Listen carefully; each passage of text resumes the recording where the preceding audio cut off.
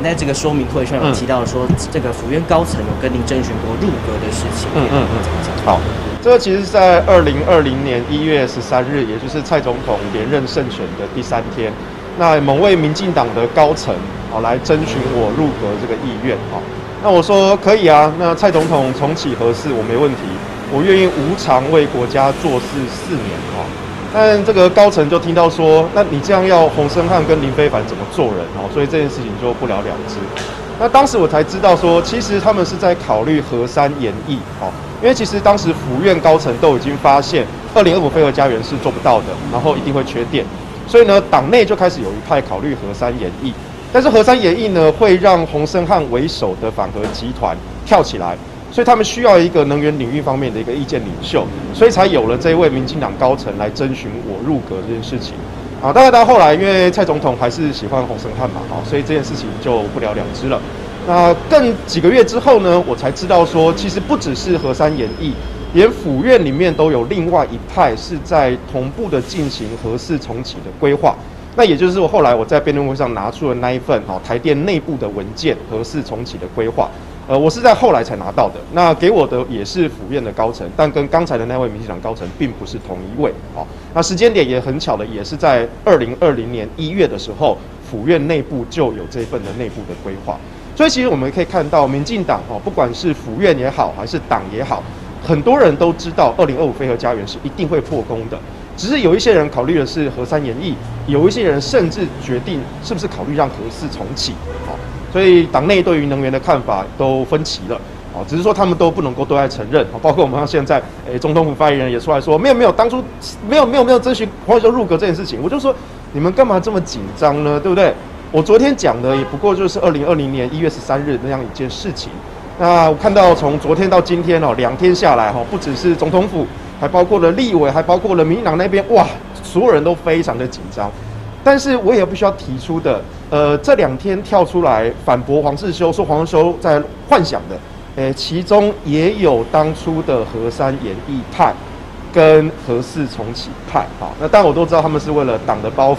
所以一定要跳出来反驳否认黄日修。那我讲这件事情呢，其实也不是说为了要当官，因为我说了，我是无偿为国家做事，我会动用我所有的人脉跟资源，比如说今天哦，国民党马英九。说，哎，蔡英文总统只要承认九二共识，他愿意担任哦两岸交流的特使啊，这样他算不算是求官呢？他不需要这个官，黄仁修也不需要这个官，哦，我无偿为国家做事，我甚至捐出我所有的人脉跟资源来全权负责核事重启这件事情。核事到底有没有弊案？我亲自的调查指挥，如果真的有弊案，我会亲手的告发相关经手的官员，通通抓起来，要他们付出一辈子的代价。那合适之后电厂如果没有问题，我也会召集台电的团队跟美国 GE 公司做谈判。那经济部把重启的预算哦喊到一千亿、两千亿，那我觉得这在帮我的忙。因为合适如果早商转一年就省七百亿，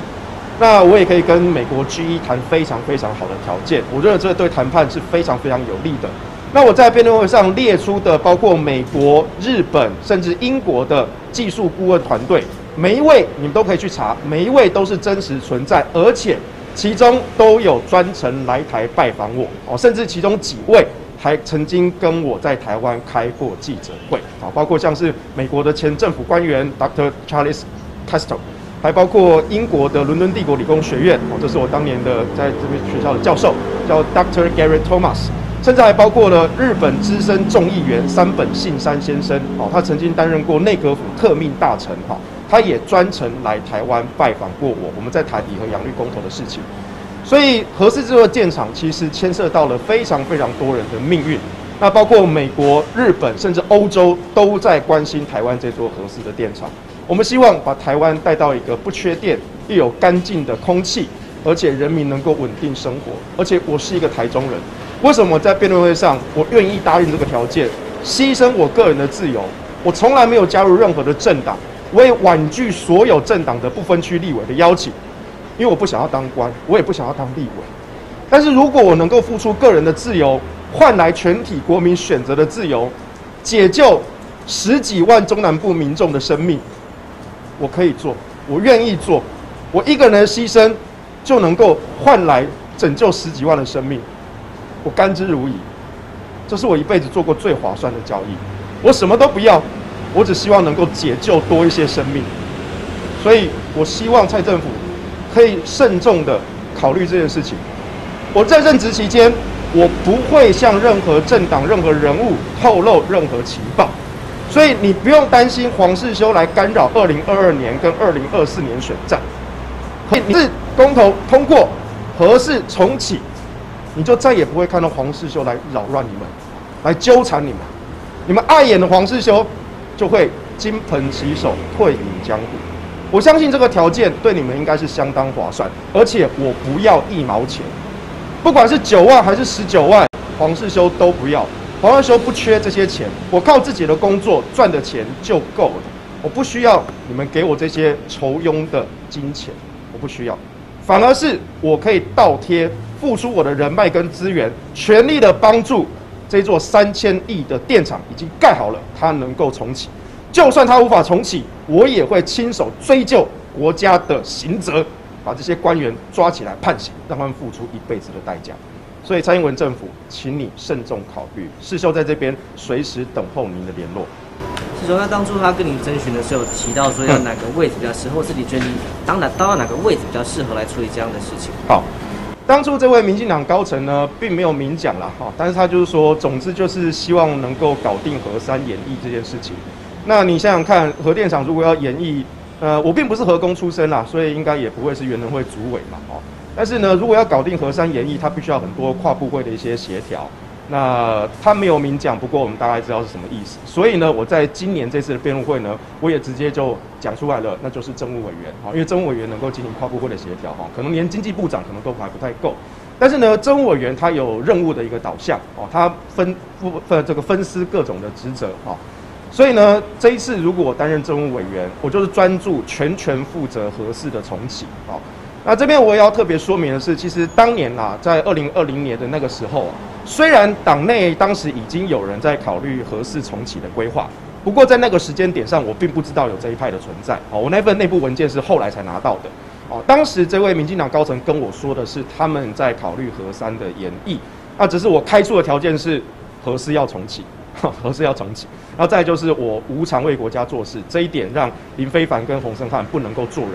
呃，我可以再多透露一点，就是这位民进党高层是很讨厌洪生汉这种极端的反核人士的，所以他也认为洪生汉这种人呢绑架了民进党。可是呢，因为我开出那个条件说无偿做事，这件事情真的会让洪生汉呃做不下去，因为前几天他才刚刚当选民进党的不分区，才当选了三天。那如果洪生汉在党内哦发起的这个一些波澜哈，那这个可能蔡总统都压不下来哦，对民进党的形象太伤了。所以，即便这位民进党高层呢，他自己很讨厌洪生汉，可是他听到我开出的条件，他也吓到了。怎么会有人愿意无偿不领一毛钱为国家做事？而这个条件刚刚好就打死了林非凡跟洪生汉，所以他后来就派人跟我说：“呃，这件事情就就就算了吧，那也也不要传出去了，因为这件事情真的会造成我们党内的一些困扰。”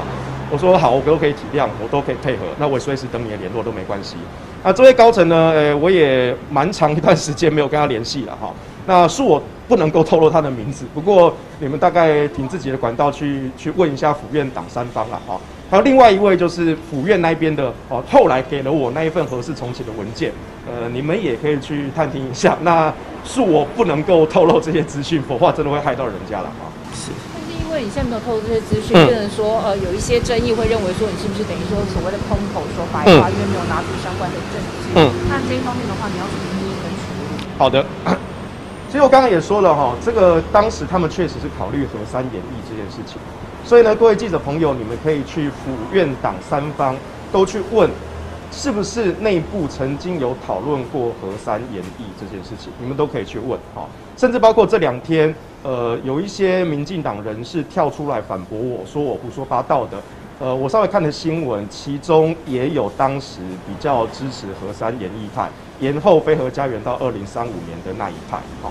那第二个就是我跟府院高层为什么会有关系，如何证明？哈，大家可以去看我拿出的那一份台电内部文件。那我在第五场最后一场的辩论会上呢，我又拿出一份二零一六年的立法院公报，啊，那一份公报里面呢说，合适的试运转测试就是一年。那如果原能会要求辅导后强化工程要先在燃料棒装填前做完，那才会拖到三年的时间。而我在公布二零二零年一月的内部文件那份上，核四一号机重启需要三年，因为它已经预设了先把辅导后强化工程做完。两份文件是完全契合的，而且我公布的那份文件呢，还有预算细项的科目，这绝对不是外部单位能够拿得出来的。好，那我这份文件呢，是从府院高层拿到的。其实大家可以想想看嘛，你觉得在野党，无论是国民党或民众党，他们拿得到这种情报吗？他们拿不到的。